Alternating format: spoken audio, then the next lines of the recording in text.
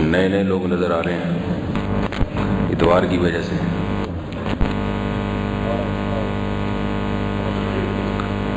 سات آٹھ سال سے یہ درس ہو رہا ہے اتوار کو، وہ منگل کو۔ اور سمجھ میں نہیں آ رہا کہ منگل کو کیا سوچ کے رکھا ہوا تھا۔ پچھلے ہفتے کسی نے کہا کہ یہ منگل کو درس قرآن کیوں ہوتا ہے؟ میں نے کہا، پتہ نہیں ہو رہا ہے، بس مجھے خود نہیں پتا نے کہا، اتوار کو کیوں نہیں ہوتا؟ پھر ایک تانا دیا، اس کے بعد میں نے کہا اگلے ہفتے لازمی اتوار ہی کو ہوگا۔ تانا دیا انہوں نے۔ تانا یہ دیا کہ منگل کو نائیوں کی چھٹی ہوتی ہے۔ پیر کو کسائیوں کی اور منگل کو نائیوں کی۔ تو میں نے کہا، نہیں بھائی، اب اب سے اتوار کو ہوگا۔ ہو گیا بھائی؟ اچھا اچھا دو منٹ۔ ابھی تو صحیح آواز ہے۔ جب خراب ہوگی تو پھر شروع کر دیا۔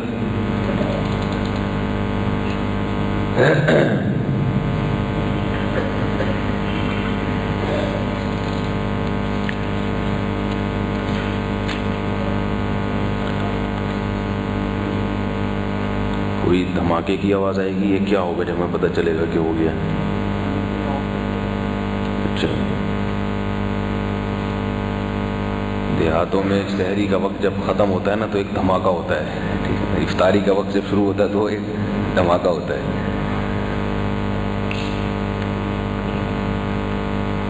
آپ ادھر ہی کہیں قریب میں اگر بیٹھ جائیں۔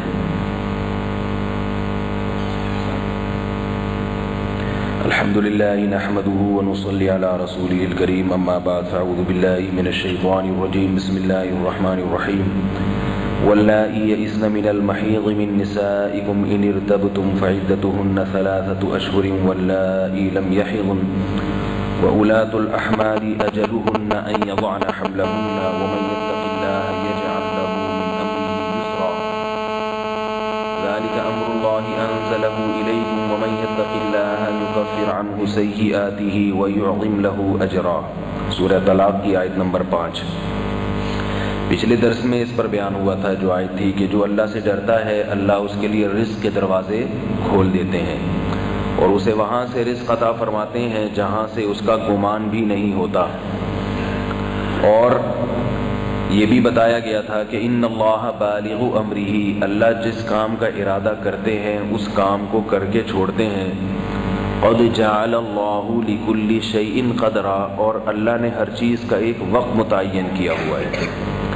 یعنی تم تقوی اختیار کرو گے تو یہ نہیں کہ فوراً آسمان سے پیسے برسنا شروع ہو جائیں گے، بلکہ اللہ نے ہر چیز کا ایک وقت متعین کیا ہے۔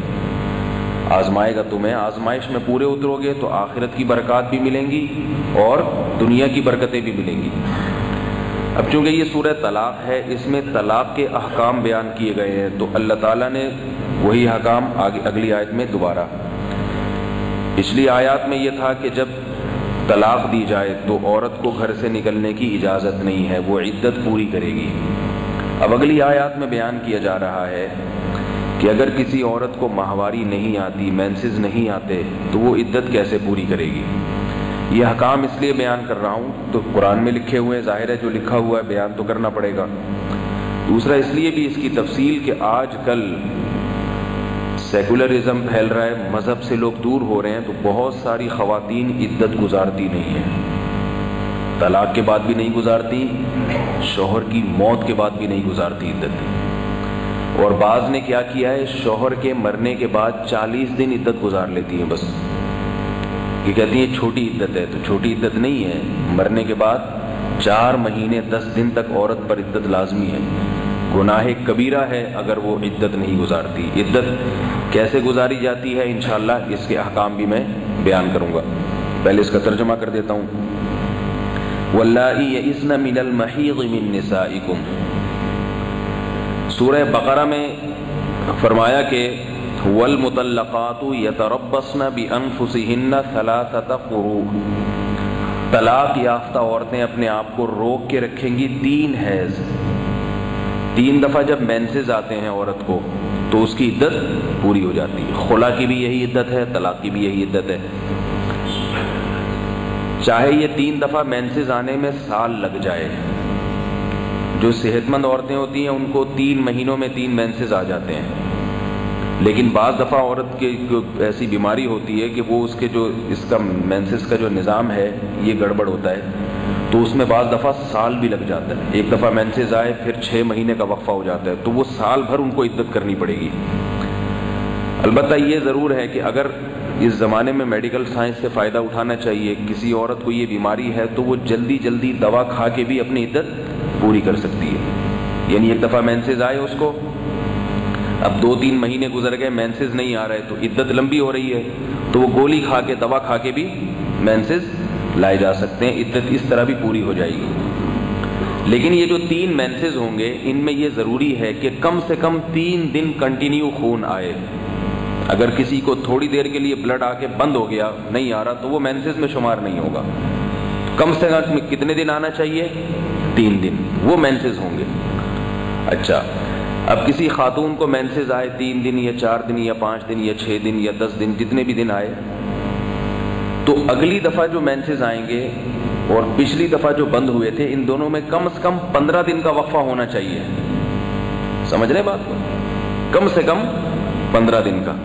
تو یہ توہر کی مدت ہوتی ہے باقی کی ایام۔ باقی کی ایام کم از کم پندرہ دن کہلائیں گے۔ اس پندرہ دن کے بعد جو ہوگا، وہ پھر نیا، نئے شمار ہوں گے۔ تو بعض خواتین کے تین مہینے سے بھی کم میں عدت پوری ہو جاتی ہے۔ کیونکہ ان کو مینسز جلدی جلدی آتے ہیں، تو وہ تین مہینے سے بھی کم میں عدت پوری ہو جائے گی ان کی۔ اور بعض کی سال بھی لگ جاتا ہے۔ لیکن جو ایک نارمل عورت ہے صحت مند عورت ہے، اس کو تین مہینوں میں تین دفعہ۔ اس لیے جب کوئی مفتی، مفتیان کرام سے مسئلہ پوچھتا ہے نا کہ عورت کی عدت، طلاق کے بعد جو عدت ہے، وہ کتنے دن ہے؟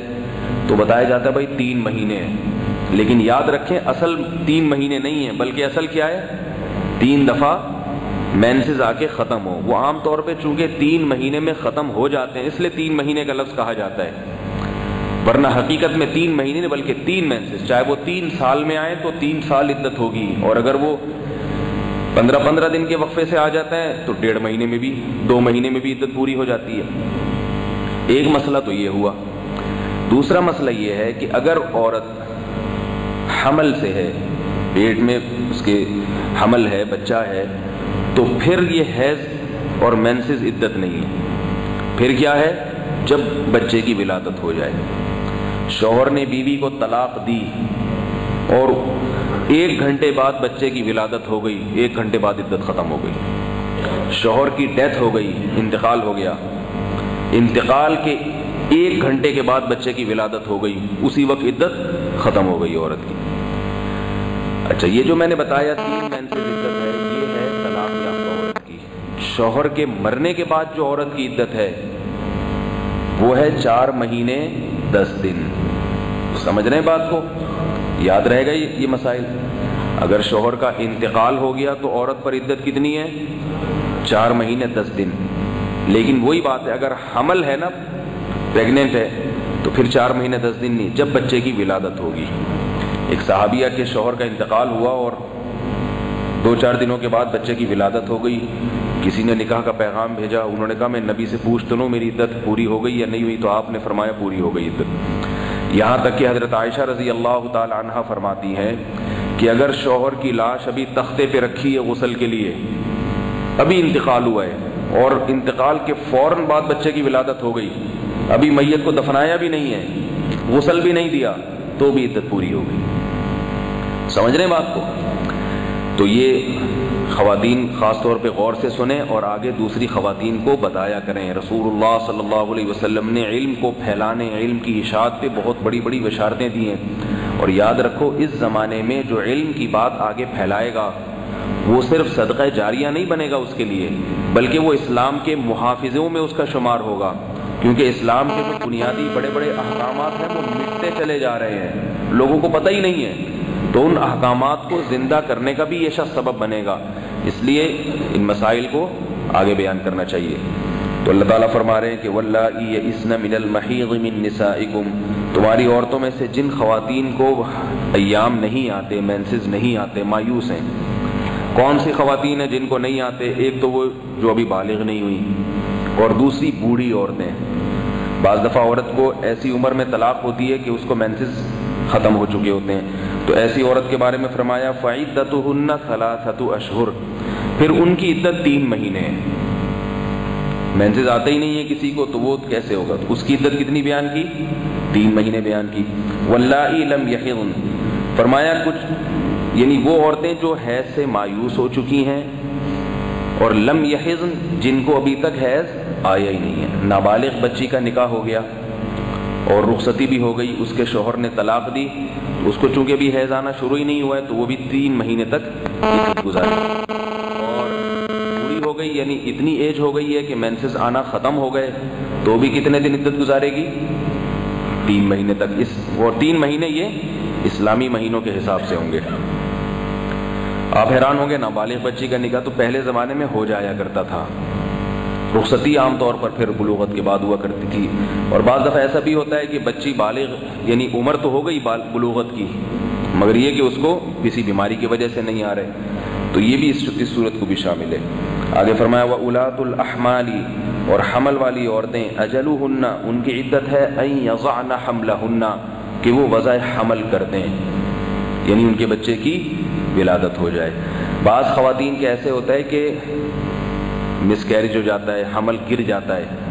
تو اس میں یہ ہے کہ اگر بچہ چار مہینے کا تھا، ماں کے بطن میں، اور اس کے ہاتھ پاؤں بن چکے تھے، تو وہ مس کیریج بھی بچے کی ولادت ہی کہلائے گی۔ اور اگر اب ابتدائی مراحل میں ہے یعنی اس کے ہاتھ پاؤں نہیں بنے ہیں بالکل ابتدائی مراحل میں ہے، تو وہ اگر مس کیریج ہو جاتا ہے، ڈی این سی کروانا پڑتا ہے، تو وہ وضع حمل شمار نہیں ہوگا۔ اس میں پھر تین دفعہ مینسز آنا ضروری ہے۔ آگے اللہ تعالیٰ فرماتے ہیں جو اللہ سے ڈرتا ہے۔ دیکھو، اللہ عورت کو عدت کے احکام بیان کر کے کیا فرما رہے ہیں، جو اللہ سے ڈرتا ہے۔ یہاں یہ آیت کیوں بیان کی جا رہی ہے؟ کہ جس کے دل میں اللہ کا خوف ہوگا، جس عورت کے دل میں وہ عدت گزارے گی۔ اور جس کے دل میں اللہ کا خوف نہیں ہوگا، وہ کیا کہے گی؟ چھوڑو، یہ پرانے زمانے کی باتیں ہیں۔ انگریز عورتیں عدت گزارتی ہیں؟ نہیں گزارتی۔ آج کل سنا ہے کہ میڈیا پہ ایسے ڈرامے فلمیں بنائے جا رہے ہیں جس میں عدت کو ایک مذاق ہمارے ملک میں تو پتہ نہیں، دوسرے ملکوں میں سنا ہے بہت زیادہ بنائے جاتے ہیں۔ عدت کو ایک مذاق بنایا گیا ہے کہ عورت عدت کیوں گزارے تو اللہ تعالیٰ فرما رہے ہیں، جو اللہ سے ڈرتا ہے یعنی مراد یہاں وہ عورت ہے جو اللہ سے ڈرتی ہے۔ تو یج اللہ من امری یسرا، اللہ اس کے کاموں میں آسانی پیدا کر دیتے ہیں۔ کیونکہ عدت گزارنا بھی عورت کو بڑا مشکل کام لگتا ہے۔ تو اللہ فرماتے ہیں، اللہ سے ڈرو، عورتوں کو اللہ فرما رہے ہیں اور یہ یہ حکم پورا کرو۔ تمہیں جو مشکلات نظر آ رہی ہیں، وہ مشکلات مشکلات نہیں رہیں گی، اس میں تمہارا فائدہ ہے۔ اب میں یہ بتاتا ہوں، عدت میں عورت کو کیا کیا کرنا پڑتا ہے۔ سمجھ رہے ہیں بات کو؟ سب سے پہلی پابندی تو قرآن میں موجود ہے، لا تخرجوهن من بيوتهن ولا يخرجن نہ تم ان کو گھر سے نکال سکتے ہو اور نہ یہ خود گھر سے نکل سکتی۔ طلاق کی عدت میں بھی عورت گھر کے باہر قدم نہیں رکھ سکتی اور شوہر کے مرنے کے بعد بھی عورت گھر کے باہر قدم نہیں رکھ سکتی۔ ہمارے ملک میں باقاعدہ یہ قانون ہے لا ہے، بہت سی خواتین کو پتہ نہیں ہے کہ اگر آپ جاب کر رہی ہیں اور شوہر کی ڈیتھ ہو جاتی ہے، تو چار مہینے دس دن کی چھٹی آپ کو ملے گی تنخواہ کے ساتھ۔ اگر آپ کی کمپنی آپ کو یہ چھٹی نہیں دے رہی، آپ اس کے خلاف عدالت میں کیس کر دیں۔ یہ لا ہے، قانون ہے۔ یہ علماء نے بہت پہلے یہ منظور کروا لیا تھا حکومت سے کہ کہ کیونکہ یہ عورت کے لیے پھر جائز نہیں ہے نا گھر سے نکلنا۔ لیکن چونکہ یہ گورنمنٹ کے اداروں میں تو یہ قانون یعنی اس پر عمل ہوتا ہے۔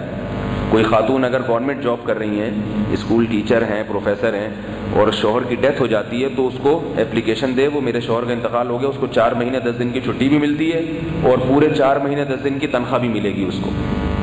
آ رہی ہے بات سمجھ میں کہ نہیں آ رہی ہے۔ لیکن پرائیویٹ کمپنیاں ڈنڈی مارتی ہیں، کیونکہ ان کو تو کام لینا ہے نا، ان کو تو اللہ رسول سے کیا واسطہ۔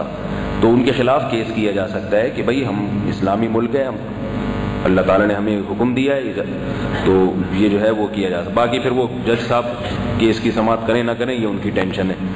لیکن یہ کہ جائز نہیں ہے عورت کے لیے گھر سے باہر نکلنا۔ تو پہلی پابندی کیا ہوئی عدت کے دوران؟ گھر سے باہر نہیں نکل سکتی۔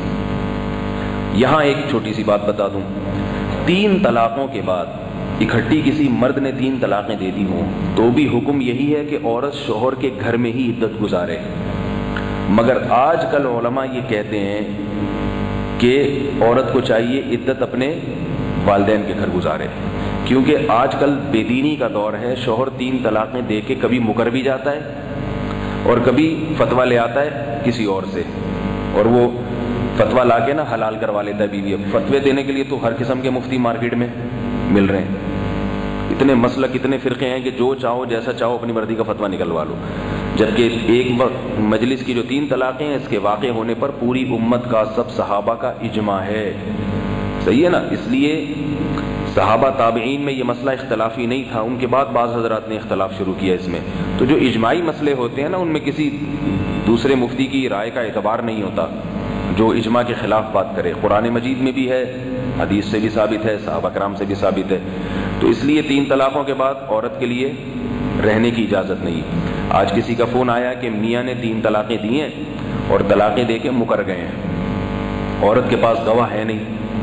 تو میں نے کہا کہ بھائی خاتون اگر نے اگر اپنے کان سے سنی ہے، حلفیہ بیان دے رہی ہے اور سو فیصد اس کو یقین ہے کہ دی ہیں، تو عورت کے لیے پھر شوہر کے ساتھ رہنا جائز نہیں ہے۔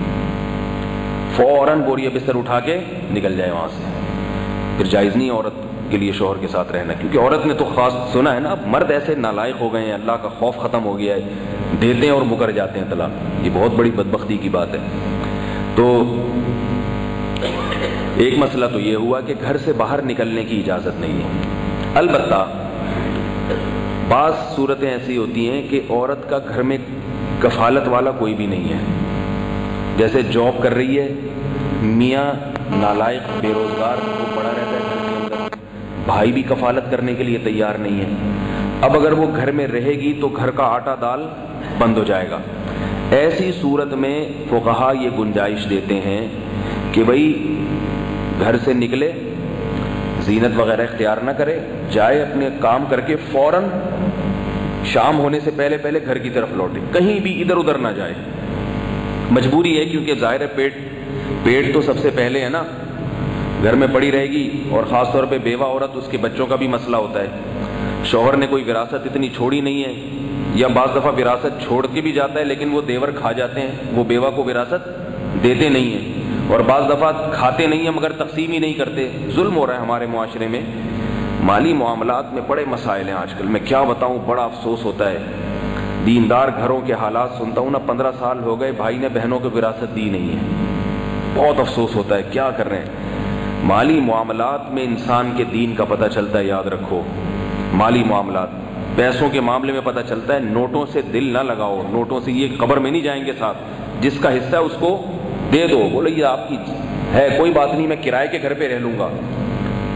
فوراً یہ سوال ہوتا ہے، بھائی جائیں گے کہاں؟ یہ گھر اگر ہم نے بیچ کے بہنوں کو حصہ دے دیا، بھائی کہاں جائیں گے؟ تو کرائے پہ رہنا بھائی۔ کرائے پہ رہو بھائی۔ کرائے پہ رہنے والے کیا انسان نہیں ہوتے؟ کیا وہ جانور ہوتے ہیں یا وہ وہ کیا ہوتے ہیں؟ وہ بھی تو انسان ہوتے ہیں، تو کرائے پہ رہ لو آپ۔ اور اگر بہن کا حصہ اگر آپ نے گھر اپنے پاس رکھنا ہی ہے، تو بھائی سب بھائی مل کے کچھ کیش رقم جمع کر کے بہنوں کو نمٹا دو۔ نہ ان کو نمٹا رہے ہیں، نہ گھر بیچ رہے ہیں۔ جب وہ بوڑھی ہو جاتی ہیں تو گھر بکتا ہے۔ پھر وہ ان کو پیسے ملتے ہیں، تو اس بڑھاپے میں انہوں نے کیا کرنا ہے؟ جو جوانی تھی، پیسے خرچ کرنے کی، عمر تھی، کھانے پینے کی، اس میں تو ان کا ہاتھ تنگ رکھا۔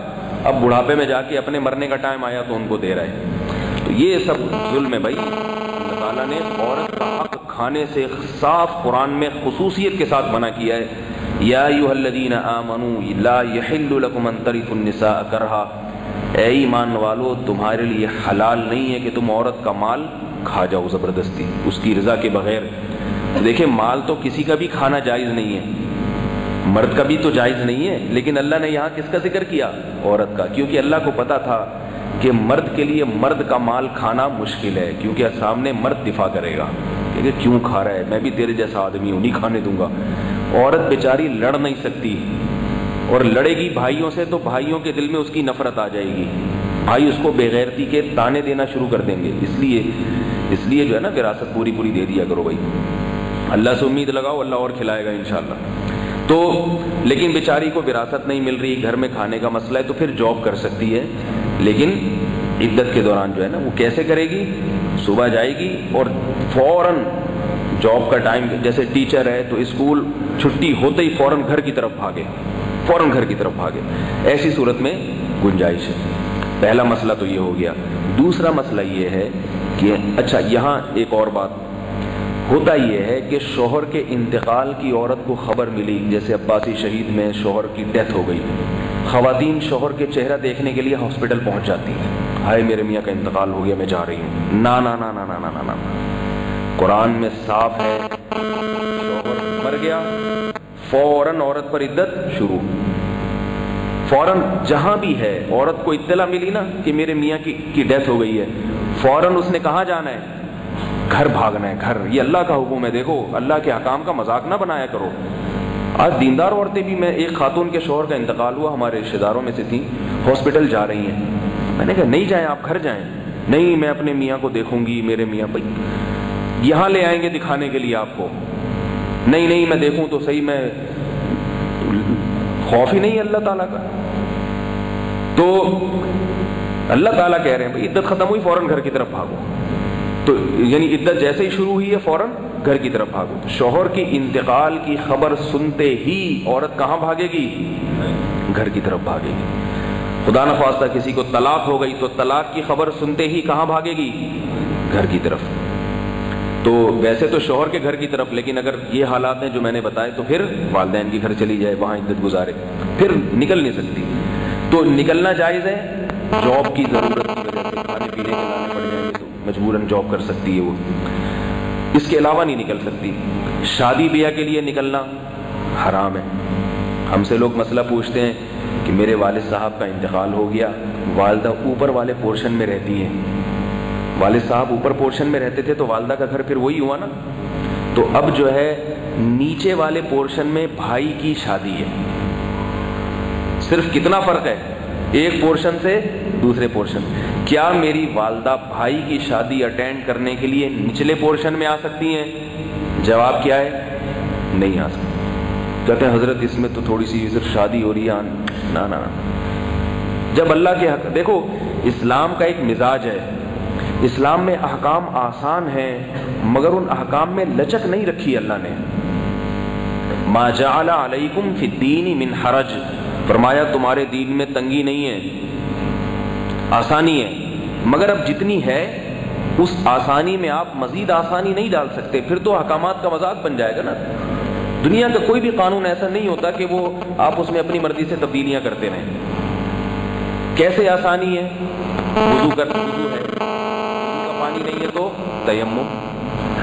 یہ اللہ نے آسانی دے دی۔ لیکن آپ نہ وضو کر رہے ہیں، نہ تیمم کر رہے ہیں، کہہ رہے ہیں سارے بیس سال سے بھائی وضو سے پڑھ رہا ہوں، آج اگر بغیر وضو کے پڑھ لی تو کیا ہو گیا؟ ہو جائے گی نماز؟ یا آپ نے پورا وضو کیا؟ صرف پاؤں تھوڑا سا چھوڑ دیا۔ تھوڑا سا پاؤں آپ نے چھوڑ دیا۔ اور آپ کہہ ہی رہے ایک منٹ، یہ میری جیب میں موبائل ہے، شاید اس سے نہ مسئلہ ہو رہا ہوں ہاں اسی سے ہو رہا ہے۔ وقار صاحب کا پشاور سے فون آ رہا ہے۔ اس لیے کہ یہ بھی لائیو بیان سنتے ہیں نا، ان کو بتا رہا ہوں کہ اس وقت فون نہ کیا کریں۔ تو پورا وضو کر لیا آپ نے، صرف ایک پاؤں چھوڑ دیا آپ نے۔ اور یہ کہا کہ یار، اتنی سردی ہے، ساری زندگی ہم پورا وضو ہی کرتے رہے ہیں، اگر ایک پاؤں آج چھوڑ دیا تو ہو جائے گی نماز۔ پورا پاؤں بھی کر لیا ایک انگلی چھوڑ دی پاؤں کی آپ نے۔ تو کیا یہ کہہ سکتے ہیں کہ زیادہ تر نماز کی چار رکعتوں میں سے تین ہو گئی ایک رہ گئی؟ یہ کہہ سکتے ہیں ہم؟ بھائی ایک رکعت بھی نہیں ہوئی ہے۔ حتیٰ کہ ایک ناخن بھی چھوڑ دیا، حتیٰ کہ ایک بال کے برابر جگہ بھی اگر چھوڑ دی تو الٹا لٹک کے نماز پڑھ لو، جس طرح سے کر لو سدے میں رو رو کے اللہ کو منا لو۔ اے اللہ، ایک بال کی جگہ چھوڑ دی تھی، معاف کر دے۔ لیکن نماز نہیں ہوگی۔ امام ہے تو سارے مقتدیوں کی نماز خراب ہو جائے گی۔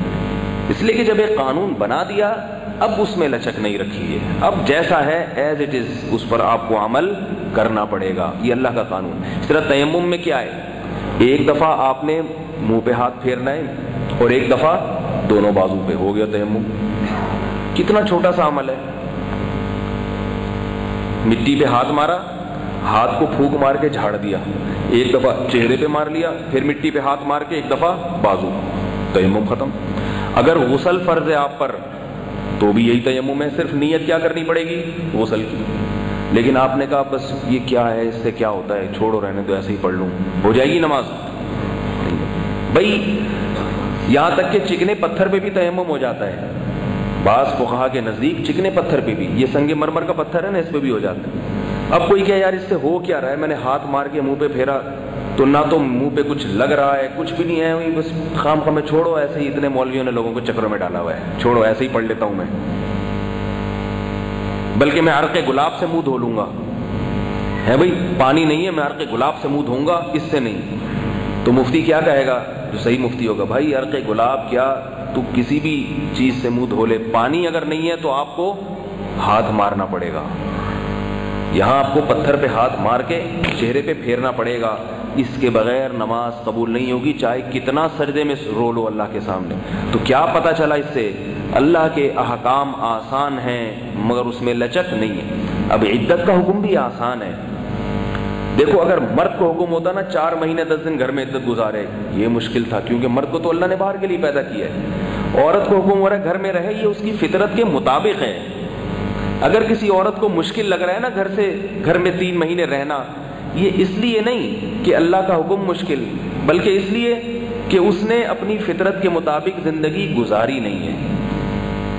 اس نے اپنی فطرت کے مطابق زندگی گزاری نہیں ہے۔ اور دوسری بات یہ کہ اسلام کے دنیا میں آنے سے پہلے عورتیں دو دو سال تک عدت گزارا کرتی تھی زمانے جاہلیت میں۔ دو سال عدت ہوتی تھی۔ اسلام نے اس عدت کو ختم کر کے چار مہینے، دس دن تک کر دیا۔ تو یہ اسلام کا عورتوں پر احسان ہے یا نہیں؟ ہندو عورتوں میں عدت کیسی ہوتی تھی؟ آپ جا کے ہندوؤں کی کتابوں کا مطالعہ کریں، بہت سخت حکام اور اس عدت میں حکام بھی بہت سخت ہوتے تھے۔ اسلام کے دنیا میں آنے سے پہلے جو عرب میں عورتیں عدت گزارتی تھیں، وہ ایسے ہوتی تھیں کہ دو سال تک گھر کے اندر رہیں گی اور بکریوں اور اونٹ کی لید اور مینگنیاں اس کے پاس پھینکی جاتی تھی تاکہ ہر وقت بدبو میں رہے وہ۔ ہر وقت بدبو میں رہے۔ یہ حالات تھے۔ اسلام نے اس کو ختم کیا اور حکم دیا کہ بدبو میں نہیں رہے گی، بس زینت اختیار نہیں کر سکتی۔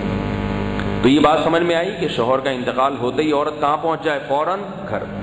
رہا یہ مسئلہ کہ میاں کا چہرہ نصیب نہیں ہوا دیکھنا تو کوئی بات نہیں۔ ہے یہ تو ویسے ہی جاہلوں والی رسم ہے کہ مرنے کے بعد کسی کے چہرے کو دیکھنے کا اتنا شوق، یہ بیوقوفوں والی رسم ہے۔ دیکھو، میں پھر یہ بیان کے آخر میں بتاتا ہوں تاکہ میرا یہ جو موضوع ہے نا، یہ کمپلیٹ ہو جائے اور پھر یہ ایک الگ بات ہو جائے گی کہ میت کے چہرے کو دکھانا اور دیکھنا اس کے اتنا زیادہ شوق یہ غلط ہے۔ یہ شریعت کے مزاج کے مطابق نہیں، اس میں کیا کیا قباتے ہیں، میں بھی بتاتا ہوں آپ کو آگے۔ تو اس لیے گھر پہنچ جائے ٹھیک ہے؟ نہیں بھی دیکھا کوئی ایسی بات نہیں۔ اگر اچھی زندگی گزری ہے، محبت تھی تو آخرت میں انشاءاللہ مل جائے گا دوبارہ۔ اور اگر بعض بعض خواتین بیزار ہوتی ہیں، تو جو بیزار ہیں ان کو نہیں ملے گا، ان کو پھر وہ والا مل جائے گا۔ جن سے بیزار نہیں ہے تو اللہ تعالیٰ وہاں عورت کو اختیار دیں گے نا، جو جنتی بعض دفعہ ایسے ہوگا، میاں صاحب یہاں والے وہاں جہنم میں چلے گئے، بیوی جنت میں چلی گئی، تو اب اس کو وہاں سے تھوڑی نکالیں گے اس کے لیے۔ کہے گا وہاں بھی میرے مزے ہو گئے۔ اور بعض دفعہ الٹا معاملہ ہوگا، بیوی جہنم میں اور شوہر جنت میں۔ تو سفارش تو ہوگی، لیکن وہ تو اللہ کی مرضی سے قبول ہوگی۔ تو خیر دوسرا حکم عدت میں ہے، پہلا حکم گھر سے نہ نکلنا۔ دوسرا حکم عدت میں ہے، زینت اختیار نہیں کر سکتی عورت، زینت۔ یہ نہیں کہ میلی کچیلی گندی رہے، یہ نہیں۔ زینت اختیار نہ کرے۔ زینت میں خوشبو، کاجل، چوڑیاں، پازیب، اس طرح کی جو چیزیں ہیں، جو بھی آج کل میک اپ ہے لپسٹک ہے، پاؤڈر ہے، یہ ساری چیزیں ممنوع۔ ہوتا کیا ہے کہ شوہر کی زندگی میں تو عورت اس کے سامنے زینت اختیار نہیں کرتی، اسی وجہ سے وہ مرا ہوتا ہے۔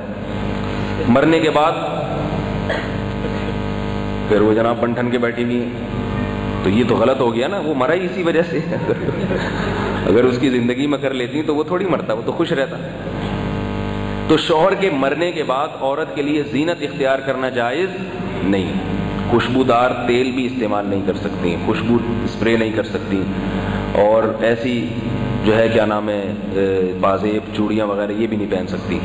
البتہ یہ نہیں ہے کہ سفید کپڑے پہن کے بیٹھ جائیں۔ بعض تو بہت ہی زیادہ غلو کرتے ہیں، ایسا نہیں ہے۔ نارمل روٹین کے جو لباس ہے، جو عام دنوں میں پہنا کرتی تھی، وہ پہن۔ زیادہ چھمک چھلو بننے کی کوشش نہ کرے۔ اتنے وہ جو ہوتی ہے نا، وہ چمک پٹیوں والے کپڑے اس طرح کے، وہ نہ پہنے۔ نارمل ڈریس جو عام طور پہ پہنتی تھیں وہ پہنے۔ غسل بھی کر سکتی ہیں، نہا دھو بھی سکتی ہیں، جسم کو صاف رکھنا چاہیے۔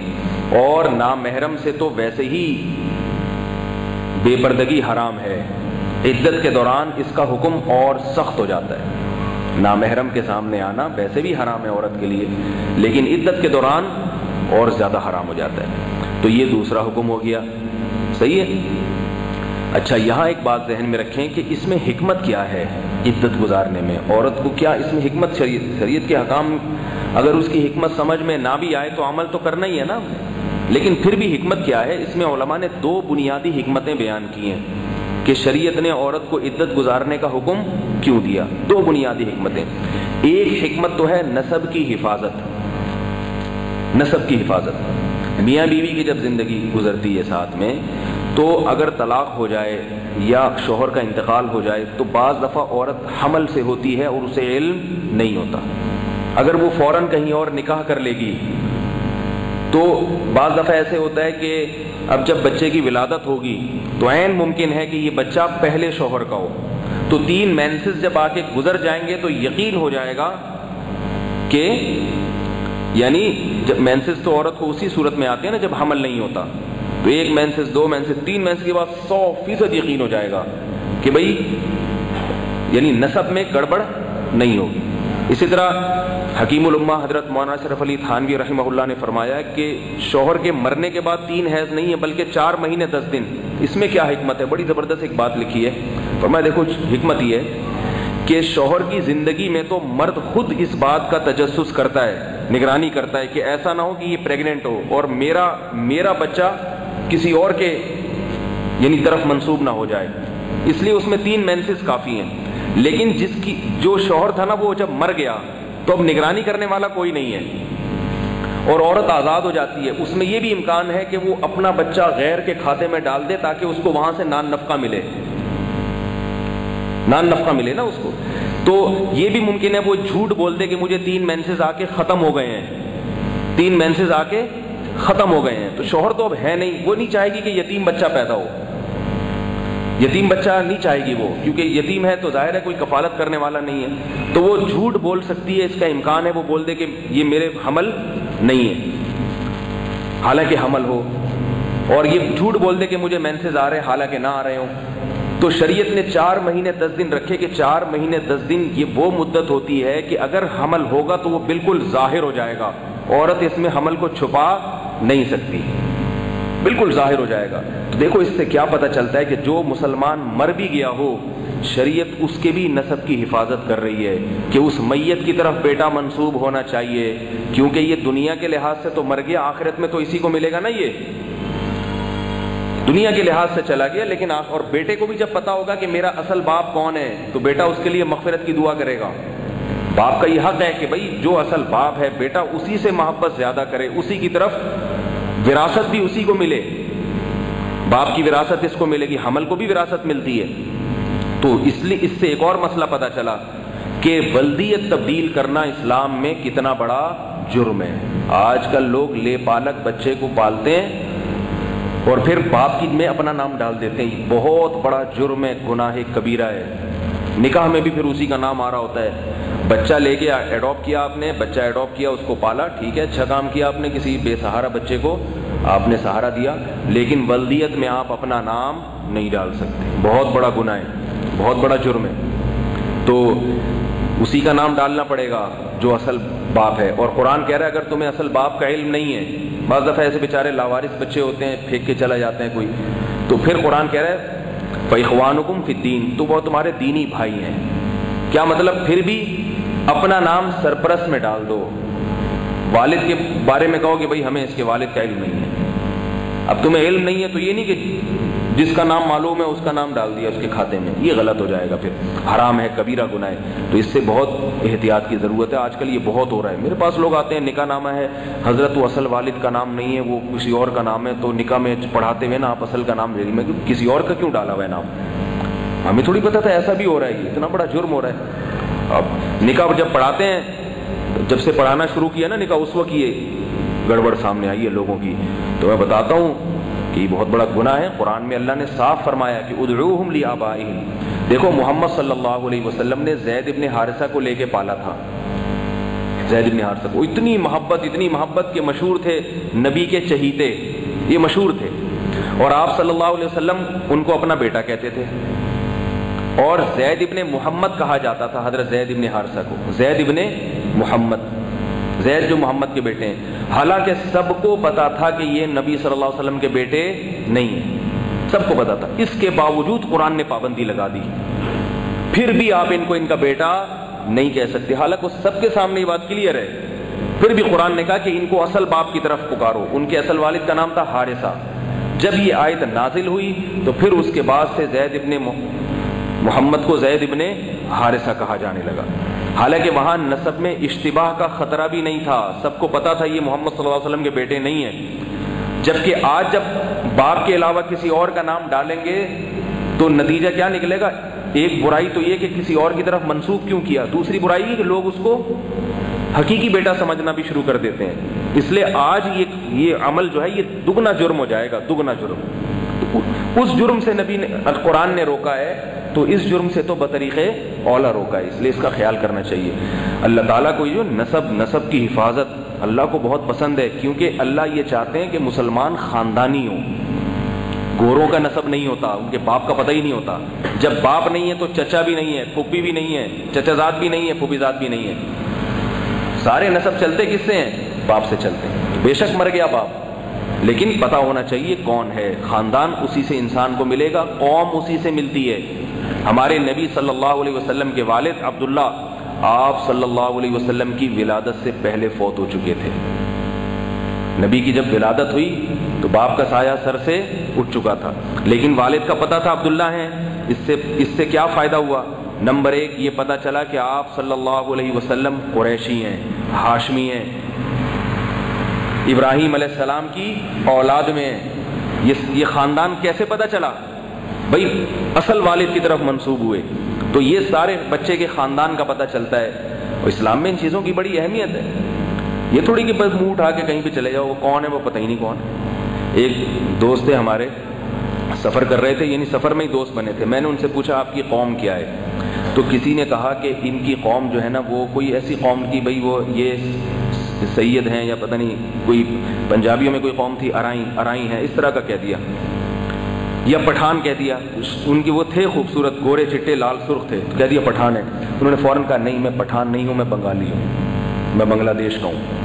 میں نے کہا، آپ تو بالکل لال سرخ پٹھان جیسے انہوں نے کہا، لگتا ہوں، مگر میں اپنی قوم تبدیل نہیں کر سکتا۔ جو ہوں میں وہ۔ مجھے بڑا اچھا لگا ان کا یہ عمل۔ یہ انسان کے خاندانی ہونے کی علامت ہوتی ہے۔ کہتے ہیں، میں اپنا نصب کیوں بدلوں؟ میں بنگلہ دیش کا ہوں۔ اور بنگلہ دیشی ہونا کوئی عیب نہیں ہے۔ ہمارے یہاں تو قوموں پہ مذاق اڑائے جاتے ہیں نا۔ بنگلہ دیش میں بڑے بڑے علماء پیدا ہوئے ہیں، بڑے بڑے بزرگ پیدا ہوئے ہیں۔ کسی قوم کا مذاق نہیں اڑانا چاہیے۔ اور یاد رکھو، ہم نے اپنے اکابر سے سنا ہے، کوئی بنگلہ دیش کا ہو تو اس کو بنگالی نہ کہو، بلکہ بنگلہ دیشی کہو۔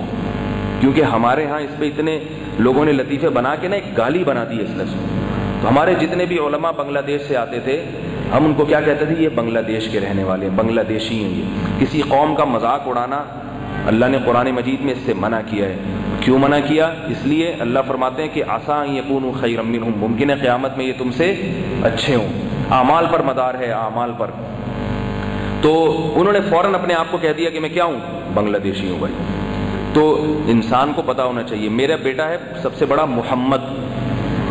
تو ہم لوگ چونکہ خان ہیں، والد صاحب بھی خان، دادا بھی خان، میرے نام کے ساتھ اتفاق سے اس وقت توجہ نہیں گئی، خان نہیں لگایا۔ طارق مسعود نام ہے نا، باقی سارے بھائیوں کے ساتھ طارق، طاہر مسعود خان، عامر مسعود خان طیم میرے نام کے ساتھ کہیں بھول بھولے وہ اس وقت اتنی ان چیزوں کی فکر بھی نہیں ہوتی تھی۔ جب میرا بیٹا تھا نا محمد، اس کا میں نے سرٹیفکیٹ بنوایا تو ایک تو نام صرف محمد بن طارق، یہ نام رکھا میں نے۔ ایک تو یہ بتانے کے لیے صرف محمد نام بھی درست ہے۔ تو میری والدہ گئیں، ڈانٹ لگائی، انہوں نے مجھے بھی بولا، اس کے آگے خان کیوں نہیں لگا ہوا؟ بات آ رہی ہے، سمجھ میں؟ تو میں نے کہا، بس سب کو پتا ہے ہم لوگ باپ دادا سے خان نے کہا، نہیں، برتھ سرٹیفکیٹ میں قوم شو ہونی چاہیے۔ پھر والدہ گئیں ڈاکٹر سے دوبارہ وہ سرٹیفکیٹ بنوا کے محمد بن طارق خان لکھوایا اس میں۔ ٹھیک ہے؟ کہ ہم کہا کہ یہ اس سے ورنہ کیسے پتا چلے گا یہ کون ہے، کدھر سے اٹھا کے لائے ہو اس کو؟ یہ بڑا ہو جائے گا تو کیا پتا چلے گا؟ تمہارے ابا کون تھے، کہاں سے تھے؟ ایسے تو نہیں ایڈی سینٹر سے کوئی اٹھا کے لے آیا۔ تو میں نے اپنے استاد سے وہ کوئٹہ کے پٹھان ان کو اپنی والدہ کا اگلے دن یہ واقعہ سنایا۔ میں نے کہا، ہماری والدہ نے بڑا غصہ کا اظہار کیا اور جا کے اس کے آگے خان، ہندوستان میں بھی خان ہوتے ہیں نا۔ اب خانوں کی دو قسمیں ہیں۔ ہندوستان میں بھی تو ہجرت کر کے گئے ہیں نا بہت سارے خان۔ تو ہم لوگ اردو اسپیکنگ لیکن پیچھے سے کیا ہے؟ جیسے مولانا سلیم اللہ خان صاحب بھی اردو اسپیکنگ ہے مگر اصل قوم کیا ہے؟ ان کی خان ہے تو میں نے کیا، وہ جب اپنے استاد سے میرے پٹھان استاد سے کوئٹہ کے ان کو میں نے بتایا کہ میری والدہ نے ایسا کیا جا کے خان لگوایا۔ انہوں نے کہا بڑے خوش ہوئے۔ انہوں نے کہا، تمہاری والدہ بڑی غیرت والی ہیں ماشاء اللہ اور صحیح پٹھانوں والا کام کیا انہوں نے۔ ٹھیک ہے۔ جی نہیں، فخریہ طور پہ نہ لگائیں کہ ہم فخر کر کے لگا رہے ہیں پٹھان تو پٹھانوں سے کیا ہوتا ہے بھائی؟ فخر نہیں، شو کرنے کے لیے، تاکہ پتہ چلے، ہم اللہ کا شکر ہے، باپ دادا کوئی ہمارا نصب ہے ایسا نہیں ہے کہ کہیں سڑک پہ پڑے ہوئے ملے تھے۔ جس کی قوم نہیں ہے، اس کا مطلب کیا ہے؟ کوئی کچرے کنڈی سے بیچارے کو اٹھا کے لائے ہیں، پتہ ہی نہیں چل رہا کیا قوم ہے۔ تو جب اللہ نے آپ کو ایک خاندان میں پیدا کیا ہے، تو وہ خاندان شو ہونا چاہیے۔ اس سے فائدہ یہ نہیں، قوم پرستی مقصد نہیں ہے۔ اس سے یہ ہونا چاہیے لتعارفو قرآن کیا کہہ رہا ہے کہ ہم نے تمہیں قوموں میں تقسیم کیا تاکہ تمہارا تعارف ہو جائے۔ ہر قوم کی اپنی خصوصیتیں ہوا کرتی ہیں۔ اپنی کچھ خامیاں ہوتی ہیں، کچھ خوبیاں ہوتی ہیں، ان سے وہ قوم پہچانی جاتی ہے۔ تو اسلام میں نصب کی بڑی اہمیت ہے نصب کی۔ کہ آپ کا کوئی نصب ہونا چاہیے، قوم ہونی چاہیے، چاہے کوئی بھی قوم ہو، لیکن وہ شو ہونی چاہیے۔ ہاں اس میں عصبیت غلط ہے کہ دوسری قوم کو گھٹیا سمجھے، ذلیل سمجھے اور اس پر اپنی دھونس جمانے کی کوشش کرے اور سمجھے ہم جنت میں جائیں گے، باقی سارے جو ہے وہ جہنم میں جائیں گے۔ تو یہ بات غلط ہے۔ تو تو وہ میرے استاذ بڑے خوش انہوں نے کہا، بڑا غیرت والا کام کیا تمہاری والدہ نے۔ تو، یہ یہ نصب کہاں سے چلتا ہے؟ باپ سے چلتا ہے۔ خان لگ گیا تو اب کیا ہے کہ وہ سارا سلسلہ پتہ چل گیا اچھا بھائی، یہ یہ جو ہے نا، یہ کہاں ہے؟ ورنہ کیا ہوگا؟ آگے جا کے کوئی کچھ بھی لگا دے اس میں۔ میراسی لگا دے، ٹھیک ہے؟ ان کی قوم تو پتہ نہیں چلی ادھر میراسی لگا دو، یا ادھر چور لگا دو، کوئی ایسی ڈھول کی جو ہوتے ہیں نا، اس طرح کے کوئی لفظ لگا دو۔ تو یہ تو پہلی حکمت کیا ہوئی؟ عدت کی نصب کی حفاظت نصب کی حفاظت، کہ جو شوہر دنیا سے گیا ہے اس کا نصب محفوظ رہے۔ اور اللہ نے قرآن میں ایک اور جگہ بھی فرمایا، ولا نما خلق اللہ فی اور عورت کے لیے حلال نہیں ہے کہ اس کے پیٹ میں جو بچہ ہے، عورت اس کو چھپا لے۔ طلاق کے بعد بھی نہیں چھپا سکتی اور عدت کے شوہر کی وفات کے بعد بھی نہیں۔ کیونکہ یہ اس کا حق ہے، اس کا، اس کی امانت ہے، یہ چھپا نہیں سکتی عورت، اس کو اجازت نہیں ہے، اس کی بہت بڑا جرم ہے، گناہ ہے۔ آگے دوسری حکمت۔ دوسری حکمت علماء یہ بیان کرتے ہیں کہ عدت میں دوسری حکمت ہے کہ اللہ تعالیٰ یہ بتانا چاہتے ہیں کہ شوہر کی نعمت کا چھن جانا، یہ عورت کے حق میں بہت بڑی محرومی ہے۔ چاہے طلاق کی صورت میں ہو، چاہے وفات کی صورت میں۔ یہ محرومی ہے، لہذا اسلام میں سوگ منانے کا کوئی تصور نہیں ہے۔ سوگ منانے کا۔ غم کو منانے کا۔ لیکن عورت کو اجازت دی ہے کہ وہ شوہر کی وفات تک چار مہینے دس دن دس دن تک غم منائے گی۔ کیسے؟ زینت اختیار نہیں کرے گی۔ یہ نہیں کہ وہ رونا بیٹھنا، یہ یہ مراد نہیں ہے۔ یعنی وہ شو کرے گی کہ اس کا شوہر دنیا سے چلا گیا ہے اور اس سے بہت بڑی نعمت چھن گئی ہے۔ اس میں کیا حکمت ہے؟ اس میں حکمت یہ ہے تاکہ عورتیں اپنے شوہروں کی قدر کریں۔ انہیں یہ احساس ہو کہ ہمارے لیے شوہر کتنی بڑی نعمت ہے، اس کی وجہ سے ہمیں عزت ملی، خرچہ ملا، ہمیں نصب ملا، ہماری اولاد کو ایک خاندان نصیب ہوا اس سے۔ تو جب یہ نعمت چھنتی ہے تو اللہ عورت کو حکم دیتے ہیں کہ وہ سوگ منائے۔ چار مہینے، دس دن تک اور طلاق کے بعد تین حیض تک۔ اس سے معاشرے میں ایک ایک جو ہے نا، ایک ایک سوچ پیدا ہوتی ہے۔ وہ سوچ کیا کہ عورت کے لیے شادی شدہ والی زندگی یہ بغیر شوہر والی زندگی سے کروڑہ گنا بہتر ہے۔ یہ جو آج کل ہمارا خاندانی نظام برباد ہو رہا ہے، کیوں ہو رہا ہے؟ اور خواتین شادی نہیں کرتی۔ میری بچی ہے، ابھی تھوڑی بڑی ہو جائے گی، ابھی تو پڑھ لے، ابھی ڈاکٹر بن جائے بھائی، شوہر سب سے بڑی نعمت ہے اس کے لیے۔ اس کی اگر مناسب رشتہ آتا ہے، فوراً سے پہلے شادی کرو۔ بغیر شوہر کے عورت کی زندگی شریعت میں پسندیدہ نہیں ہے۔ یہ نعمت سے محروم ہے۔ وہ تو مرد کے لیے بھی نعمت ہے کہ اگر کسی کو سوال ہوگا کہ بھئی جب بیوی مر جائے تو شوہر کو بھی عدت گزارنی چاہیے کیونکہ مرد کے لیے بھی تو نعمت ہے نا۔ یقیناً نعمت ہے، مگر اللہ یہ بتانا چاہ رہے ہیں کہ عورت کو شوہر کی ضرورت زیادہ ہے بنسبت مرد کی۔ مرد کو عورت کی اتنی ضرورت نہیں ہے جتنی عورت کو مرد کی ضرورت ہے۔ اور اس کی دلیل قرآن سے بھی ثابت ہے۔ اللہ تعالیٰ نے عورت کو پیدا کیا آدم علیہ السلام کی بسلی سے۔ حضرت ہوا کو، ہماری اماں کو کس سے پیدا کیا اللہ نے؟ آدم علیہ السلام کی بسلی سے۔ تو عورت پیدا ہوئی ہے مرد کے جسم سے۔ تبھی قرآن مجید میں، بل حدیث میں اللہ اللہ کے رسول صلی اللہ علیہ وسلم نے عورتوں کو مردوں کے جسم کا ٹکڑا کہا ہے۔ شقیق، شقائق الرجال۔ شقیقہ عربی میں کہتے ہیں آپ کے جسم کا ایک حصہ۔ تو مرد کے جسم ہی سے ٹوٹ کے وہ نکلی ہے۔ تو اگر اسے مرد کا سہارا نہ ملے، مرد کا سایہ نہ ملے۔ تو ظاہر ہے جو جسم کا حصہ ہوتا ہے، جیسے بچہ ماں کا حصہ ہوتا ہے نا، ماں کے جسم سے پیدا کیا اللہ نے، تو بچے کو ماں چاہیے کہ نہیں چاہیے؟ ماں کا سہارا، ماں کی گود، ماں کی شفقت، ماں کی محبت۔ تو اسی طرح اللہ نے عورت کو مرد کے جسم کا ٹکڑا بنایا ہے۔ تو عورت محتاج ہے مرد کی محبت کی، مرد کے سائے کی، مرد کی غیرت اور وہ ساری چیزوں کی۔ اگر اسے وہ چیزیں نہیں ملتی، تو وہ پاگل ہو جائے گی۔ میں نے اپنی اس مختصر سی زندگی میں کوئی کنوارا لڑکا پاگل نہیں دیکھا کہ جس کی شادی نہ ہوئی اور پاگل ہو گیا ہو۔ لیکن لڑکیاں سائی کی بہت دیکھی ہیں جن کی شادی نہیں ہوئی۔ پچیس چھبیس ستائیس، یہ آخری ہے۔ جو چھبیس ستائیس تک نہیں ہوئی تو ان کی سیٹنگ آؤٹ دماغی توازن۔ پھر عامل اور روحانی والے جو ہے نا، پھر ان سے دو دو ہاتھ کہتے ہیں، تم پہ بندش کرا دی، تم پہ یہ کرا دیا ابھی چینل تبدیل نہ ہو جائے کیونکہ عاملوں کی میں کت بناتا رہتا ہوں تسلی کے ساتھ۔ اتنا پریشان ہو گیا عامل کہنے، یار یہ پتہ نہیں کیوں ہمارے پیچھے پڑ گیا، کوئی بھی اس طرح سے ہمارے پیچھے ہاتھ دھو کے نہیں پڑا، یہ بہت ہی پیچھے پڑ گیا۔ تو وہ عامل لوگ پھر کیا کرتے ہیں؟ وہ پھر جناب اس سے جو ہے وہ اس کے کیش کراتے ہیں پھر کہ تم پر جن ہو گئے تم پہ فلانا ہو گیا، تم پہ ڈمکانا جن من نہیں ہوئے بھائی، اس کی شادی کرا دو سیٹ ہو جائے گی اس کو زیادہ ضرورت ہے۔ تو یہ اللہ تعالیٰ کا بنایا، اس کا مطلب یہ نہیں جو بیچاری تیس سال کی کماری آپ اس کو پاگل سمجھنا شروع کر دیں۔ کوئی بھی آج کل تو بہت ساری لڑکیاں جن تیس تیس سال عمریں ہو گئی شادی نہیں ہو رہی، ان کی تو آپ کہیں یہ بھی پاگل ہے، یہ بھی پاگل ہے، کسی مخصوص خاص کو پاگل کہنا جائز نہیں ہے۔ سارے ہوتے بھی نہیں ہیں، ہر چیز ہر ایک کے حق میں نہیں ہوتی، بعضوں میں صلاحیت ہوتی ہے، برداشت کی اور بہت ساری چیزیں ہوتی ہیں۔ لیکن ایک عمومی بات بتا رہا ہوں کہ یہ بیماری کا سبب بنتی ہے یہ چیز۔ تو ایک ڈاکٹر نے بتایا، کئی لڑکیاں آتی ہیں مائیں اپنی بچیوں کو لے کے آتی ہیں، اس کو یہ بیماری ہے، اس کو وہ بیماری، ہم دوا دیتے رہتے ہیں، علاج کرتے رہتے ہیں۔ وہ ڈاکٹر کہتے ہیں کہ ہمیں پتا ہے کہ اس کی اصل بیماری ہے، اس کی شادی نہیں ہو رہی۔ لیکن اگر ہم یہ بتا دیں نا کہ اس کی اصل بیماری، اس کی شادی نہیں ہو رہی، تو اس کی ٹینشن میں اور اضافہ ہو جاتا ہے۔ تو وہ ڈاکٹر بیچارہ وہ بتا بھی نہیں سکتا۔ لیکن وہ وہ پھر دوسروں کو بتاتے ہیں کہ بھائی اصل مسئلہ اس کے ساتھ ہی ہے۔ تو اس لیے تو شریعت یہ بھی باور کرانا چاہتی ہے کہ شوہر کی موت عورت کے لیے بہت بڑا دھچکا ہے۔ اس کو چار مہینے دس دن تک سوگ منانا چاہیے، تاکہ معاشرے میں یہ یہ نظریہ پیدا ہو، عورتیں اپنے شوہروں کی قدر کرنا شروع کریں۔ اللہ تعالیٰ سب عورتوں کو اپنے میاؤں کی قدر کرنے کی تو مجھ سمیت کرنے کی توفیق عطا فرمائے۔ اچھا بھائی، یہ تو دو حکمتیں تھیں عدت کی۔ بس میں بھی آیت کا ترجمہ کر کے بات ختم کرتا ہوں۔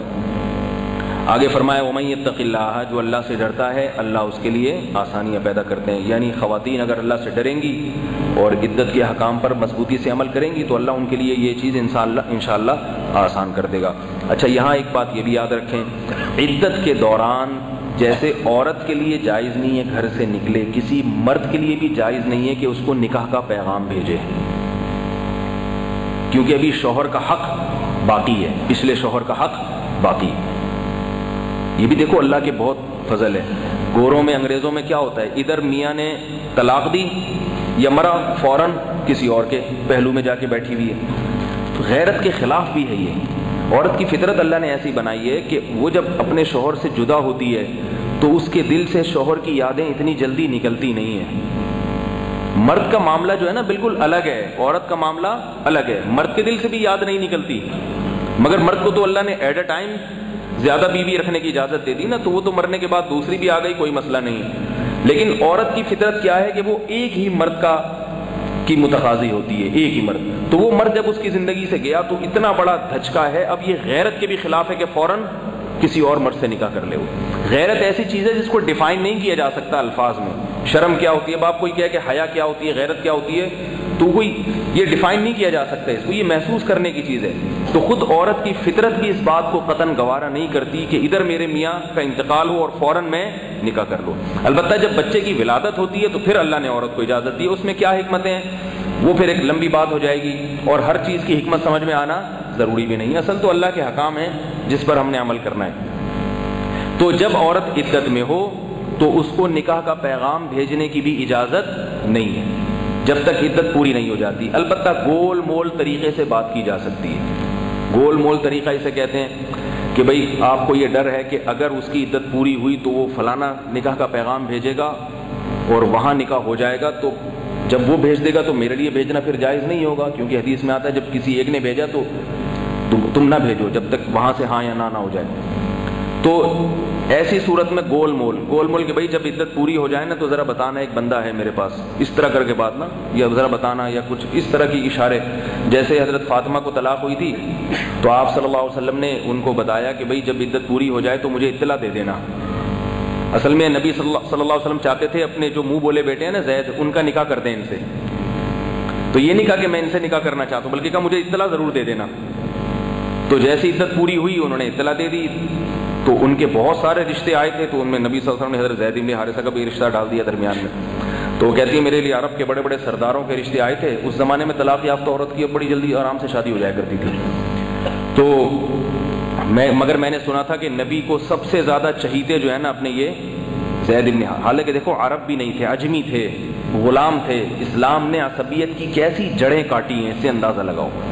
عرب تو کسی اجمی کو لفٹ ہی نہیں کراتے تھے۔ اور زید ابن حارثہ جو اجمی اور غلام بھی، ان کو نبی نے اتنا، اتنی عزت دی کہ لوگ کیا کہتے تھے؟ نبی کے چہیتے ہب عربی میں ہب کہتے ہیں، ایک تو ہوتا ہے محبوب اور حبیب۔ محبوب اور حبیب کا مطلب دوست، محبوب۔ ایک ہوتا ہے ہب ہا کی زیر کے ساتھ۔ یہ کہتے ہیں بہت زیادہ محبوب۔ جو جیسے ہم اردو میں چہیتے کو کہتے ہیں نا، بڑا یہ تو بھائی ان کا بڑا لاڈلا ہے، بڑا چہیتا۔ تو نبی صلی اللہ علیہ وسلم کے لاڈلے اور چہیتے مشہور تھے یہ۔ عرب میں یہ بھی تھا کہ غیر قوم میں اجمی سے عرب عورت نکاح نہیں کرتی تھی، اس کو آر سمجھتی تھی کہ میں ہم عرب ہو کے اجمی سے نکاح کریں۔ لیکن حضرت فاطمہ کہتی ہیں کہ میں نے سن رکھا تھا کہ زید ابن حارثہ نبی کے بڑے چہیتے ہیں، اس لیے میں نے ان کے پیغام کو قبول کر لیا۔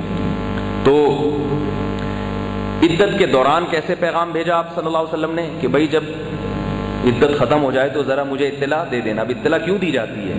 یقیناً یہ ہوگا نا کہ بھائی کوئی رشتہ ہے میرے پاس سراہتن نہیں بھیج سکتے پیغام، یہ بھی جائز نہیں ہے۔ البتہ ایک صورت ایسی ہے جس میں مرد بھی پیغام نہیں بھیج سکتا یعنی مرد شادی نہیں کر سکتا جب تک عدت پوری نہ ہو جائے۔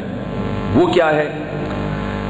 ایک شخص نے کسی عورت سے نکاح کیا تو وہ اس کی بہن سے نکاح نہیں کر سکتا نا، یہ تو سب کو پتا ہوگا۔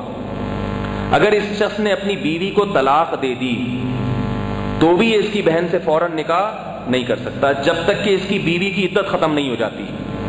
آ رہی ہے بات سمجھ میں؟ جب اس کی بیوی کی عدت ختم ہوگی، پھر یہ اپنی بیوی کی بہن سے نکاح کر سکتا ہے۔ کہیں ایسی کوئی صورت آئے؟ ویسے ایسا ہوتا نہیں اور ہونا بھی نہیں چاہیے۔ آج کل بے حیائی پھیل رہی ہے نا معاشرے میں۔ تو سالیوں سے بھی سیٹنگ چل رہی ہوتی ہے۔ ہمارے حضرت رحمہ اللہ کے دور میں ایک صاحب آئے کرتے تھے، اتنی بڑی داڑھی ان کی، ٹوپی اور ایسے پگڑی بڑے نیک نورانی چہرہ، یہ حضرت بیان فرماتے تھے، پردہ نہ کرنے کا عذاب۔ عورتیں جو پردہ نہیں کرتی نا، اس کا عذاب کتنا ہے؟ اپنے گھروں کو برباد کرتی ہیں وہ۔ تو وہ کہتے ہیں، اتنے نیک پرہیزگار میرے بیان میں بیٹھا کرتے تھے، تو سالی جو ہے نا، ان سے پردہ نہیں کرتی تھی۔ کیونکہ پردے کو تو لوگ کیا سمجھتے ہیں؟ یہ تو تقیانوسی کی علامت اور پرانے زمانے لوگوں، تو بھائی سالی سالی بھی آ کے گپ شپ لگاتی تھی۔ اب ان کا دل کس پہ آ گیا؟ سالی۔ بیوی اچھی نہیں لگتی تھی ان کو۔ سالی ابھی کنواری تھی اور وہ زیادہ جوان، یہ بیوی اپنی ایجڈ ہو گئی۔ تو اب ظاہر ہے سالی سالی تو پھر سالی ہوتی ہے۔ تو جیسے سالہ سالہ ہوتا ہے نا، کہتے ہیں نا سالہ کہیں کا۔ تو اب سالی پہ دل آ گیا ان کا۔ پردہ نہیں کرتی تھی وہ ہیلو ہائی ہو رہا ہے۔ آپس میں چکر بازیاں شروع۔ سالی کا بھی دل کس پہ آ گیا؟ بہنوئی پہ۔ شیطان تو جہاں دو مرد اور عورت اکٹھے ہوں گے، تیسرا کون ہوگا اس میں؟ شیطان۔ تو حضرت کے بیان میں آیا کرتے تھے وہ، اب ان کا چکر چلا اپنی سالی کے ساتھ، انہوں نے کہا، بھائی، میں تجھ سے شادی کروں گا۔ سالی نے کہا، میری بہن ہے چھوڑ دوں گا، اس کو طلاق دے دوں گا۔ اب ایسی عاشق ہو گئی کہ اپنی بہن کا گھر بھی اس بے شرم عورت کو اتنا بھی خیال نہیں ہے کہ میری بہن کا گھر اجڑ رہا ہے۔ جب انسان پر شہوت سوار ہوتی ہے نا، تو پھر وہ سارے تقاضے توڑ دیتا ہے۔ یہ بھی کتنا بڑا جرم ہے اپنی بہن کا گھر برباد کرنا۔ اب کیا ہے، دونوں نے پلان بنایا انہوں نے کہا، اگر ہم نے یہاں یہ طلاق تم نے میری بہن کو دے کے مجھ سے نکاح کر لیا، تو نہ میری عزت رہے گی نہ تمہاری۔ یہاں تو ہمیں کوئی چھوڑے گا نہیں، زندہ نہیں چھوڑے گا. تو ان دونوں نے پلان بنایا ملک سے باہر بھاگنے کا، کہ بھائی ملک چھوڑ دیتے ہیں، کینیڈا یا انگلینڈ جا کے رہیں گے، یہاں رہنا ہی نہیں۔ تو اس کم بخت نے بےغیرت بے شرم آدمی نے کیا کیا، اپنی بیوی کو طلاق دی اور ویزا بنوا کے اپنی سالی کو لے کے بھاگ گیا، اس سے جا کے شادی کر لی۔ یہ طریقہ نہیں بتا رہا آپ لوگوں کو میں۔ بعض لوگ کیا کرتے ہیں، وہ جو ہے نا کہتا ہے اچھا یہ بھی طریقہ ہے۔ یہ بے شرمی اور بے غیرتی کا واقعہ سنا رہا ہوں۔ اور یہ واقعہ پیش کیوں آیا؟ اس لیے کہ سالی اپنے بہنوئی کے سامنے آ کے بیٹھا کرتی تھی۔ اس لیے علماء کہتے ہیں، قرآن کہتا ہے، علماء کیا کہتے ہیں کہ سالی کے کے لیے اپنے بہنوئی سے ہنسی مذاق اور فری ہونا اور اس کے سامنے آ کے بیٹھنا جائز نہیں ہے۔ اس میں عورت کا فائدہ ہے۔ اللہ اس کی بیوی کا گھر بچانا چاہتے ہیں۔ تو اس لیے بھائی ان چیزوں سے بچا کرو۔ وہ کہتے ہیں، بھائی ہے، ہمارا بھائی ہے۔ ٹھیک ہے، آپ اس کو دینی بھائی سمجھیں، بھائی کے جیسا سمجھیں، لیکن پردہ بہرحال امہات المومنین، ہماری مائیں تھی کہ نہیں تھی پھر بھی اللہ نے ان کو پردے کا حکم دیا۔ تو میں سالی کو بہن سمجھیں، سالی اپنے بہنوئی کو بھائی سمجھے مگر پردہ اپنی جگہ ہے۔ وہ حکامات ختم نہیں ہوں گے۔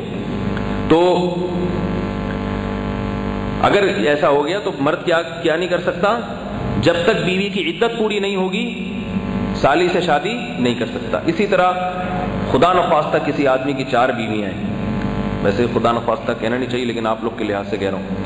اب وہ پانچویں، چوتھی بیوی کو اس نے یا پہلی بیوی یا دوسری یا تیسری کو اس نے طلاق دے دی۔ اب وہ چوتھی شادی کرنا چاہ رہا ہے، ابھی نہیں کر یعنی ایک اور شادی کر ریپلیس کرنا چاہ رہا ہے۔ تو جب تک اس میں سے ایک ہی عدت پوری نہیں ہو جاتی، وہ مزید بیوی نہیں لا سکتا۔ کیونکہ جو عورت عدت میں ہے، نکاح تو ختم ہو گیا، مگر اس میں ابھی پرانے والے نکاح کے آثار باقی ہیں۔ لہذا اس کی اجازت نہیں ہے۔ عرب ممالک میں ایسا ہوتا ہے کہ بعض دفعہ کیا کرتے ہیں کہ چار بیویاں ایک کو طلاق دے کے فوراً شادی کر لی۔ تو جہالت میں ایسا کرتے ہیں۔ تو پھر وہاں کے علماء بھی یہی فتویٰ دیتے ہیں، یہاں سے بھی یہی فتویٰ دیے یہ نکاح نہیں ہوا۔ اگر ایک کو چھوڑا ہے تو جب تک اس کی پوری عدت نہیں ہو جاتی، آپ دوسری بیوی نہیں لا سکتے۔ تو یہ وہ احکام ہے جو مرد پر واجب ہوتے ہیں۔ یعنی مرد کے لیے بھی اس میں عدت عدت گزارنا ضروری ہے۔ یعنی عدت گزارنے کا مطلب اس دوران وہ نکاح نہیں کر سکتا۔ تو یہ تو اللہ نے حکام دیے۔ ذالک امر اللہ انزلہ الیکم۔ فرمائی یہ اللہ کا حکم ہے جو اللہ نے تم پر نازل کیا ہے۔ یعنی عورت کو جو طلاق اور موت کی عدت کے حکام ہے یہ اللہ کا حکم ہے۔ وہ میں اللہ، دیکھو پھر اللہ نے بتا دیا کہ جو اللہ سے ڈرتا ہے۔ دو دفعہ لفظ آیا نا تقوی کا۔ کیونکہ اللہ کو علم، اللہ کے علم میں ہے کہ تقوا نہیں ہوگا تو اللہ کے حکام پر عمل نہیں ہوگا۔ یہی کہتے رہو گے، چھوڑو پرانی باتیں۔ چار مہینے، دس دن بعد خواتین پہ بہت مشکل ہو جاتی ہے عدت۔ تو ہمارے محلے میں ایک صاحب کا انتقال ہوا، ان کی بیگم چالیس دن کے بعد بات گھوم رہی ہیں۔ کسی نے پوچھا کہ بھائی، چار مہینے، دس دن کہا شارٹ عدت بھی ہوتی ہے۔ جو مجبوری ہونا تو چالیس والی کر لو۔ یہ کہاں سے نکالی بھائی؟ مختصر عدت۔ تو عدت چار مہینے دس دن ہی ہوتی ہے۔ آگے اللہ فرما رہے ہیں، دوبارہ وہ میں اللہ جو اللہ سے ڈرتا ہے یعنی یہاں مراد کون ہے؟ عورت۔ جو عورت اللہ سے ڈرتی ہے یو کفران ہو صحیح آتی ہی اللہ اس کی خطاؤں کو معاف کر دیتے ہیں۔ وہ لہو اجرا اور اس کے اجر کو بہت زیادہ بڑھا دیتے ہیں۔ پتہ چلا، عدت گزارنا بھی بہت بڑی عبادت ہے۔ خواتین جب عدت گزاریں تو عبادت سمجھ کے کہ اس پہ ہمیں اللہ کی طرف سے بہت اجر ملے گا، ثواب ملے گا۔ آگے پھر جو ہے وہ احکامات ہیں۔ اس میں اللہ تعالیٰ نے زوجات کے حقوق، بیویوں کے حقوق بیان کیے آگے۔ کہ تم نے ان کو نان نفقہ کتنا دینا ہے، خرچہ پانی کیسے دینا ہے۔ اسلام میں عورت کے کمانے کا تصور نہیں ہے۔ کمانا کس کے ذمے ہے؟ مرد کے ذمے۔ تو اللہ تعالیٰ آگے آیتوں میں بتا رہے ہیں کہ تم نے اپنی زوجہ پہ کیا کیا خرچ کرنا ہے۔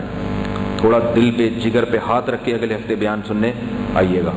سمجھ رہے ہیں نا بات کو؟ اپنے حقوق کا سننا تو آسان ہوتا ہے، دوسرے کے حقوق کا سننا ذرا مشکل کام ہوتا ہے۔ چونکہ اس کو، یہ جو سورہ طلاق ہے نا، اس کا دوسرا نام ہے نسائے سغرا ایک ہے نسائے سورہ نسا کبرا۔ سورہ نسا کبرا جو عال عمران کے بعد ہے۔ اس میں کیا ہے؟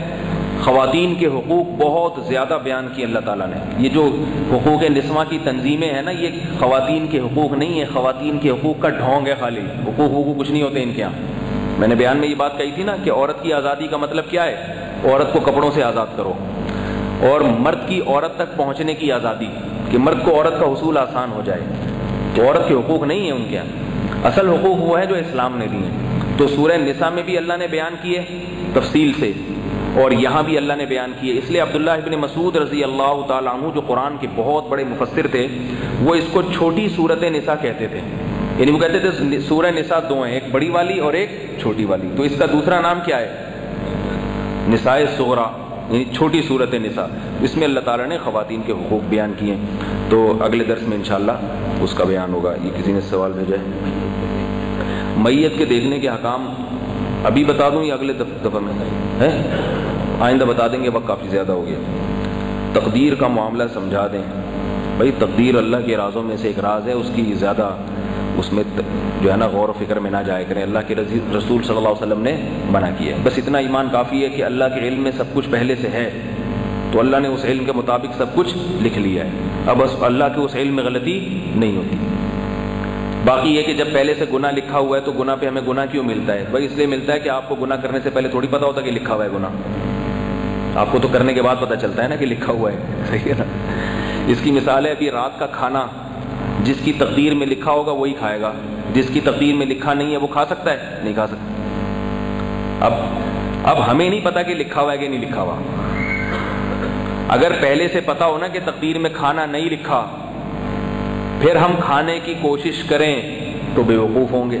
کیونکہ ہمیں پتا ہے کھا سکتے ہی نہیں ہے اور اگر پہلے پتا ہو کہ لکھا ہوا ہے تو پھر ہم کوشش ہی نہیں کریں گے۔ ہمیں پتا ہے کہ نہیں بھی کھائیں گے نا تو کسی نہ کسی طریقے سے پیٹ میں اتر جائے گا۔ آزمائش یہی ہے کہ پہلے سے پتا کچھ نہیں ہوتا۔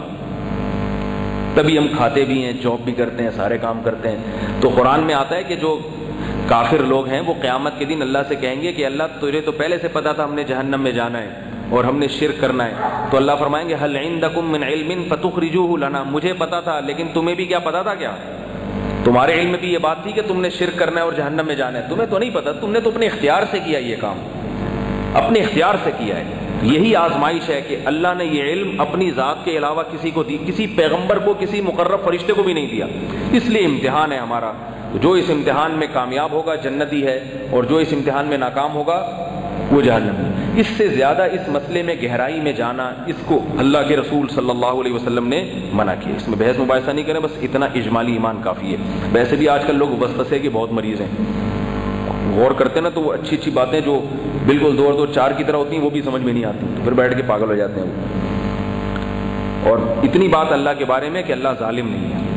قرآن میں آتا ہے، ما یفعل اللہ بعذابکم۔ اللہ تمہیں عذاب دے کے کیا کرے گا؟ تم نیک بننا چاہو، اللہ تمہیں زبردستی جہنم میں پھینک دے ایسا کیوں؟ اللہ تو نہیں چاہتا ہی اللہ تو غفور نہیں ہے، وہ تو چاہتے ہیں میرے سارے بندے جنت میں چلے جائیں۔ ایک بیان میں جوائنٹ فیملی میں رہنے کے حوالے سے مضمون رہ گیا تھا، آپ نے فرمایا تھا کہ بعد میں بیان کروں گا، وہ بیان وہ اس یعنی جوائنٹ فیملی میں پردہ عورت کیسے کرے؟ یہ ایک مضمون رہ گیا، یہ پھر انشاءاللہ کبھی انشاءاللہ اس پہ بھی بیان کریں گے۔ اچھا کہ بتا دی کہ مرد و خواتین پردے کے ساتھ کیسے رہیں؟ آپس میں مجبوراً بات کی جا سکتی ہے یا نہیں؟ ہاں دیکھو جوائنٹ فیملی میں تو عورت کے لیے آواز کا پردہ تو ممکن ہی نہیں ہے۔ وہ ظاہر بات کہے گی، بھابھی تو دیور کے کان میں جائے گی، تو اس میں کوئی حرج نہیں۔ ویسے بھی عورت کی آواز جو ہے وہ سطر میں داخل نہیں ہے۔ اس سے فتنے کی وجہ سے منع کیا جاتا ہے۔ سمجھ میں آ رہی ہے بات؟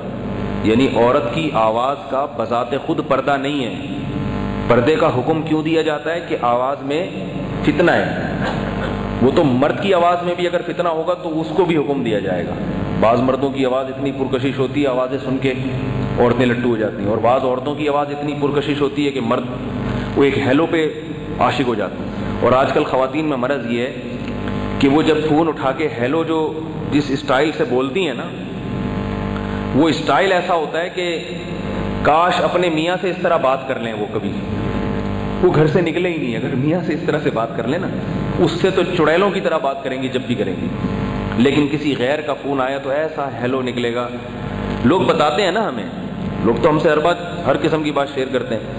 تو خواتین کو تھوڑا احتیاط کرنی چاہیے۔ میں یہ نہیں کہہ رہا کہ آپ آواز بہت خطرناک بنا دیں، لیکن اتنی خوبصورت تو بنانے کی کوشش نہ کریں۔ ہوتی چڑیل ہے پیچھے۔ چڑیل بیٹھی ہوگی ایک لڑکے نے مجھے بتایا کہ ان نون نمبر سے کوئی کال آئی تو میں نے فون اٹھایا نا۔ لڑکیاں بھی آج کل جو فواہشہ ہوتی ہیں وہ مردوں سے بات چیت کا شوق ہوتا ہے، ان کو چھیڑتی ہیں، ان کو فون کر کر کے۔ تو کہہ رہے ہیں میں نے فون اٹھایا تو اتنی سریلی آواز ہیلو یہ، وہ، مجھ سے دوستی لگائیں۔ کہہ رہے اتنی خوبصورت آواز۔ تھی لڑکے میں ذرا تخوا تھا۔ کہہ رہا میں تو لٹو ہو گیا۔ لیکن کہہ رہا اللہ کا خوف دل میں آیا تو میں نے کہا اس کو ابھی بھگا دو ورنہ میرا اپنے دل پہ قابو نہیں رہے گا اور میں کہیں گناہ میں نہ پڑ جاؤں۔ تو میں نے اس سے کہا تم ذرا اپنے ابا کا نام بتاؤ۔ اب وہ ڈر گئی۔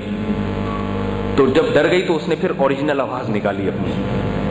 نہیں نہیں، اللہ کا واسطہ، آپ مجھے معاف کریں ایسی چڑیلوں جیسی آواز تھی نا اوریجنل کہ ابا کا نام کی اب ضرورت ہی نہیں رہی۔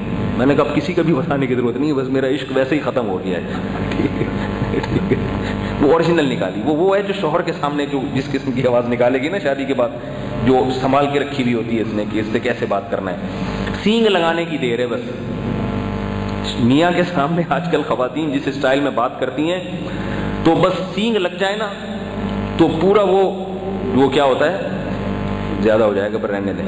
تو بھائی میاں کے سامنے ذرا، جیسے ایئر ہوسٹس بات کرتی ہے نا، جہاز میں مسافروں کے ساتھ، اس طرح عورت کو اپنے میاں کے ساتھ بات کرنی چاہیے۔ تو پھر وہ گھر سے باہر نکلے گا نہیں کہے گا، ادھر ہی بیٹھا رہا ہوں میں۔ اگر شریف آدمی ہوگا تو۔ تو دیور سے بات کرنا ضرورت کے وقت جائز ہے۔ کھانا پونا کھانا پوچھنا، پانی وغیرہ کا چائے وغیرہ کا پوچھنا، یہ جائز ہے، اس میں کوئی حرج نہیں۔ لیکن اگر دیور خراب قسم کا آدمی ہے، پھر جائز نہیں ہے۔ انسان کا بھی تو کردار کا بھی پتہ چل جاتا ہے نا، شریف آدمی کی نگاہیں اور برے آدمی دونوں میں دو منٹ کے اندر پتہ چلتا ہے، دو منٹ کے اندر۔ خواتین تو ان چیزوں میں ویسے ہی بہت ہوشیار ہوتی ہیں۔ ان کو پتہ ہوتا ہے کہ کون شریف ہے اور کون دو نمبر ہے۔ دو منٹ میں پتہ چلتا ہے۔ تو اگر شریف ہے دیور، تو ضرورت کے وقت بات کی جا سکتی ہے کہ بھائی یہ چاہیے، وہ چاہیے، وغیرہ وغیرہ۔ اور اگر ہے حساب کتاب خراب ہے، جھانکا تاکی میں لگا رہتا ہے، ایسی خواتین کے بھی فون آتے ہیں، دیور صاحب جھانکتے تاکتے رہتے ہیں۔ تو پھر میں ان سے کہتا ہوں، اپنے میاں صاحب کو بتا دیں کہ اس آدمی کی نگاہیں صحیح نہیں ہیں۔ یہ بندہ دو نمبر ہے۔ اور ہوتا ہے ایسے، پھر اس سے آواز کی بھی احتیاط کرنی چاہیے۔ اللہ تعالی ہم سب کو عفت والی اور پاک دامنی والی زندگی نصیب فرمائے۔ گھروں میں پاکیزگی کا ماحول پیدا فرمائے۔ سبحانک اللہم بحمدی کا نشہد اللہ الہ الا انت، نستغفرک و نتوب الیک۔